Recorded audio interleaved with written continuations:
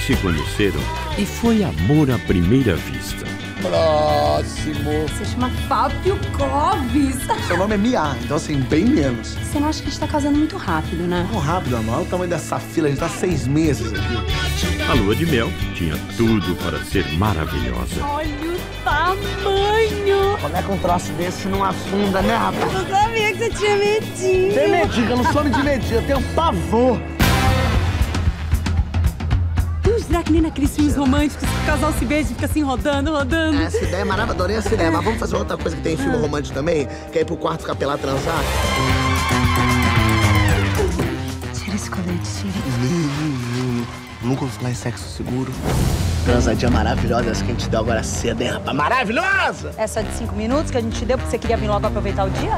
Mas um encontro inesperado mudou o rumo da viagem. Eu queria saber se eu podia levar dois. Claro. Porque eu quero levar um pra minha mulher que tá ali, minha arte. Sua mulher, tímida ela, né?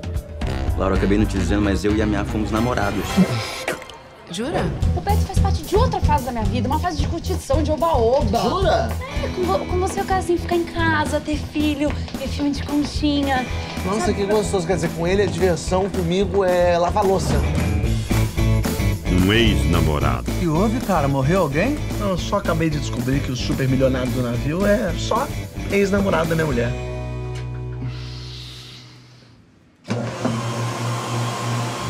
a garota dos sonhos de escola. Que é o coração. É, o coração, às vezes, ele lateja em locais bem curiosos, né?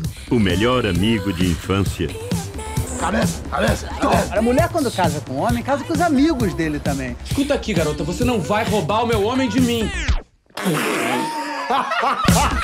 E uma dupla trambiqueira Lá, lá, lá, lá, lá. Esse casamento aí chega nem até a Europa. vão agitar o Atlântico.